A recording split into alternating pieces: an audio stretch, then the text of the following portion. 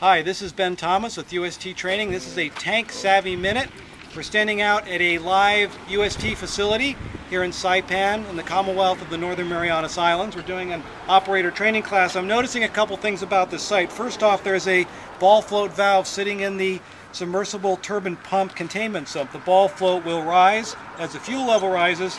It'll seal the vent and it'll plug that. Ball float valves are kind of common here in Saipan. We're trying to encourage uh, operators to remove them and place them with a flapper valve. Another thing I'm noticing here, there's a fair amount of this flexible plastic piping that is the double wall interstitial piping for this particular UST.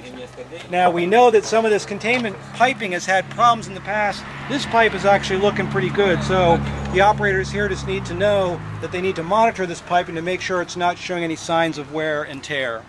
This is Ben Thomas sweating at a gas station at Saipan at the Commonwealth of the Northern Marianas Islands. This has been a Tank Savvy Minute.